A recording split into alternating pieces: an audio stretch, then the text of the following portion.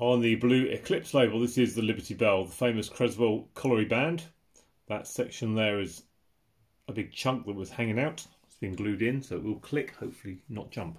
Uh, the Great Little Army, the other side. This is take, I don't know, eight. Here we go, let's try again. Here we go.